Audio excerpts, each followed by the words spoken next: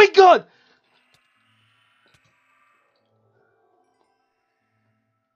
Okay, alright. Like, that actually scared me.